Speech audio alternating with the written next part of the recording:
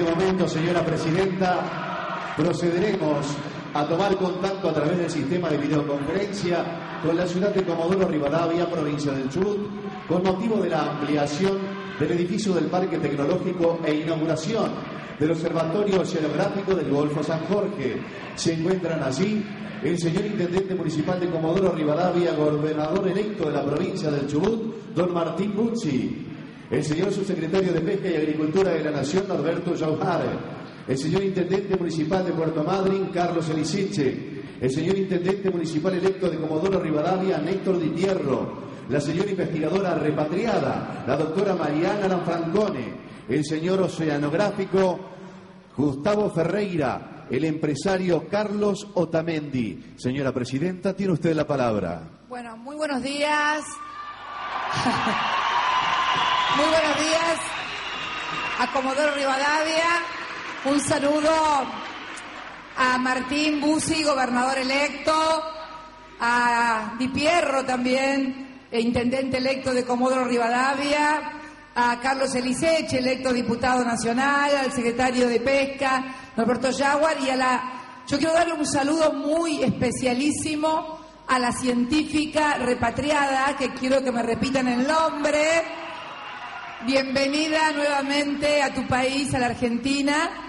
Eh, Martín, primero contanos vos, primero, Martín, primero contanos vos a mí y a todos los que estamos escuchando aquí en Tierra del Fuego, en Ushuaia, en una fábrica la más grande, establecimiento industrial de todo Tierra del Fuego. Contanos qué estamos inaugurando hoy allí y después me gustaría escuchar, que debes saber más que vos del tema, a la científica porque es un tema absolutamente científico. Te escucho. Adelante, Martín, gracias. ¿Qué tal, Cristina? Eh, muy buenos días. Desde ya muy agradecidos por esta posibilidad de poder presentar este, este centro de energías alternativas que estamos inaugurando acá en Comodoro. Y estamos acompañados primero por Mariana, que es una científica argentina que hasta hace un tiempo atrás estaba viviendo en España y decidió volver a- al país a traer el camino recorrido, sus conocimientos y permitir también que nos podamos desarrollar en todas las cuestiones que tienen que ver con, con el mar. También a, Gustavo, que es un, también un científico argentino que está en este momento trabajando en coordinación con la Universidad de Quebec y que también ha posibilitado que hayamos llegado a un día como hoy.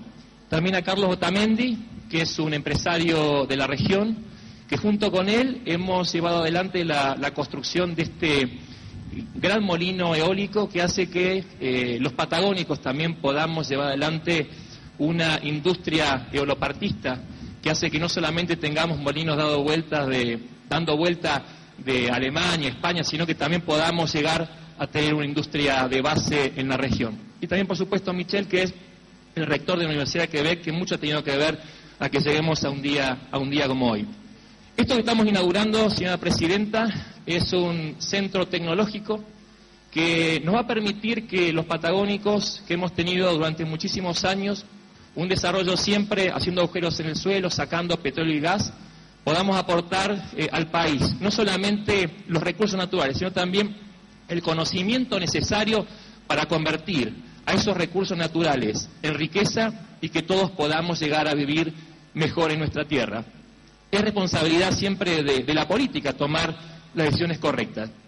Y este centro que tenemos acá atrás va a permitir que, eh, así como en la Argentina tenemos una enorme pampa verde, que es la, la pampa húmeda, y acá adelante tenemos una enorme pampa azul, seamos capaces de producir en cada hectárea de agua proteínas para poder alimentar a nuestra gente y poder alimentar al mundo.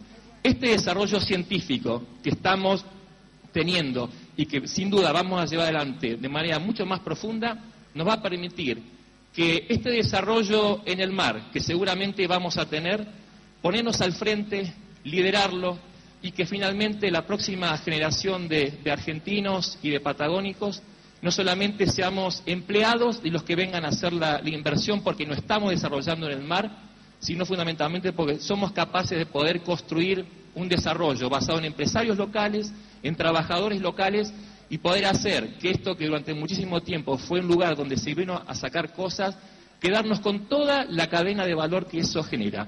Para esto está este centro tecnológico, Para esto, señora presidenta, es que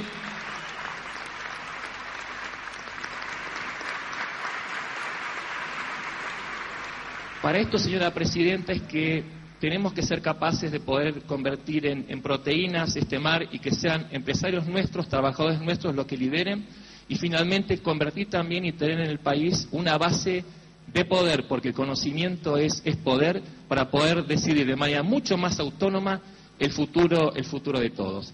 Eh, yo le voy a pasar ahora eh, la palabra a Mariana para que cuente cuáles son los desarrollos.